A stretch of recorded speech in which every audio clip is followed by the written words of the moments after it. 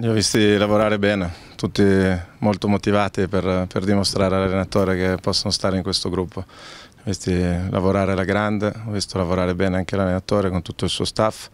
che gestisce alla perfezione. Sono molto contento della scelta e del gruppo di lavoro che si sta creando. È un allenatore che cura tutti i dettagli,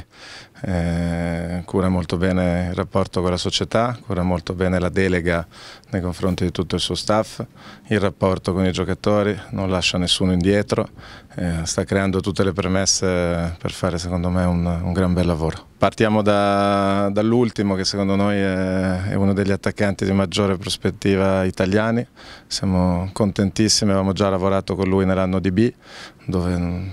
era appena maggiorenne, adesso ha, ha qualche campionato in più sulle spalle. Eh, credo ci possa dare una grandissima mano perché da un punto di vista fisico ha caratteristiche simili a quelle di Pavoletti. E non avevamo in rosa un'alternativa al Pavo. E poi può anche aiutarci secondo me come seconda punta perché ha dimostrato a Perugia l'anno scorso di essere anche un, un grande assessment quindi credo sia proprio il, il, profilo ideale che ci mancava lì davanti. Per quel che riguarda Castro non ha bisogno di presentazioni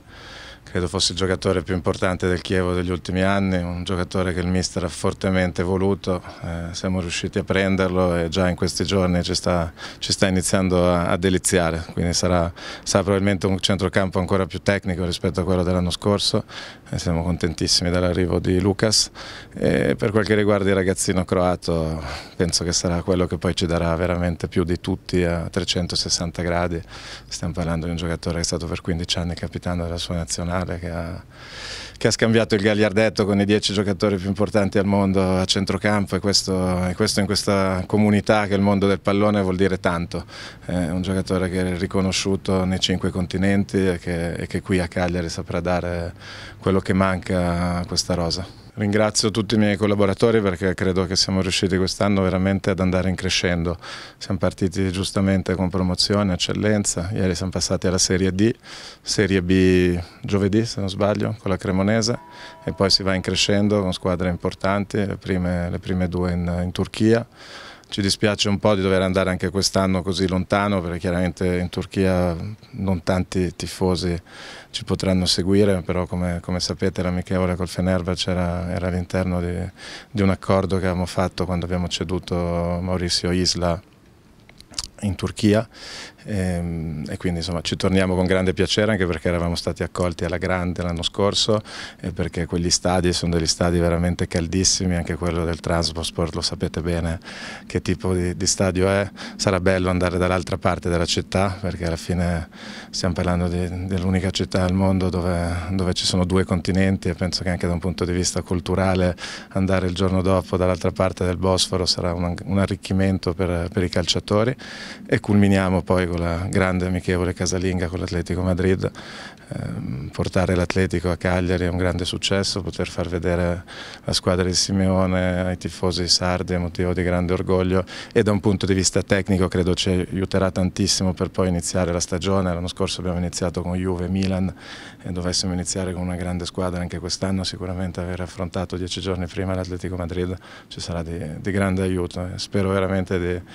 di trovare uno stadio pienissimo perché sarà bello, sarà un bel evento Cagliari Atletico Madrid. Stiamo lavorando con Sportium, come, come, sapete, abbiamo definito in queste settimane quella che sarà la capienza definitiva, che sarà una capienza di 25.200 posti Stiamo lavorando su un possibile ampliamento a 30.000 in previsione di un eventuale europeo o comunque in previsione di una manifestazione internazionale eh, in Italia, in modo da poter essere uno degli stadi a quel punto poi eventualmente con 30.000 posti ad ospitare una manifestazione internazionale. Questi sono chiaramente passaggi che ci hanno portato in questi mesi a perdere un po' di tempo su quella che era la scaletta iniziale, però riteniamo siano passaggi fondamentali, stiamo facendo un'opera, faremo un'opera che sarà probabilmente l'opera più importante costruita in Sardegna nel, nel prossimo decennio e quindi non vogliamo sbagliare nulla. Crediamo che questa nuova capienza sia ancora più adatta a quelle che sono le ambizioni del Cagliari, eh, l'investimento sarà evidentemente superiore magari anche l'altezza poi dello stadio nel momento in cui si dovesse portare a 30.000 e quindi questo ovviamente richiede un ulteriore passaggio in comune che faremo a settembre eh, per poi appaltare ad ottobre il progetto esecutivo Sportium. Sicuramente limare quei passaggi a vuoto che abbiamo avuto l'anno scorso, eh, cercare anche di, di, fare partite ancora migliori eh, in certi frangenti, per, per, esempio due anni fa sono state troppe le goleade, quindi questi sono, sono, i due aspetti principali che dobbiamo limare rispetto alle ultime due stagioni, eh, cercando chiaramente di, di, arrivare alla quota salvezza il più rapidamente possibile, eh, cercando di lavorare sul campo tutti i giorni